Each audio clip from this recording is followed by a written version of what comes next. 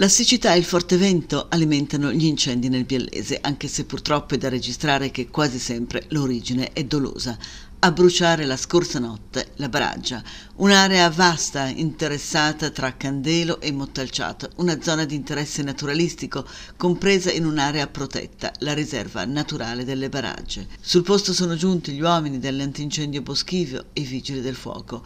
L'incendio rapidamente si è propagato su una vasta superficie a grande velocità, mettendo a dura prova i volontari AIB, intervenuti con una trentina di persone e una decina di mezzi di soccorso provenienti dall'intera provincia. Sono state necessarie ore per contenere e per rallentare l'avanzata delle fiamme, anche a causa della particolare conformazione del territorio. Le operazioni sono proseguite per l'intera notte e le raffiche di vento, sempre nella notte, hanno rianimato anche le fiammelle nei boschi dell'Alpe Cavanna, in territorio di Donato, e anche in questo caso uomini dell'antincendio boschivo, forestali, vigili del fuoco, sono accorsi sul posto nel tentativo di chiudere il cerchio al fuoco che divampava con fiamme altissime. Senza tregua le operazioni di spegnimento sono terminate soltanto questa mattina, ma la zona rimarrà continuamente vigilata e monitorata. Sono Rodolfo Gilardi, stiamo del Corpo di Piemonte, stiamo operando sulla zona di questa notte sull'incendio di Donato. C'è un vento fortissimo e stiamo cercando di contenere le ripartenze.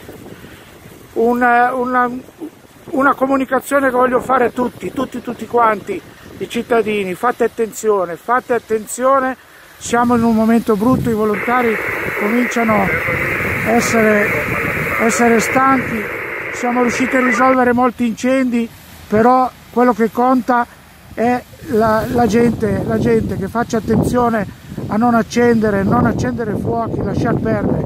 E se vedono qualcosa chiamare subito i carabinieri o i vigili del fuoco. Io ringrazio molto tutti i volontari che sono intervenuti in questi giorni, negli ultimi giorni perché ho avuto una grande collaborazione e spero proprio che questi incoscienti, proprio dico incoscienti, che accendono i fuochi si mettono una mano sulla coscienza di quello che stiamo facendo. Le nostre famiglie a casa è un po' di giorni che non ci vedono, non ci vedono eh, andare a casa, dobbiamo sempre andare via e abbiamo anche le nostre famiglie.